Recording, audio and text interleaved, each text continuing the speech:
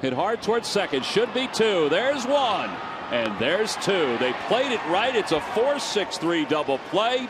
And it gives the Phils a fighting chance in the top of the ninth inning. No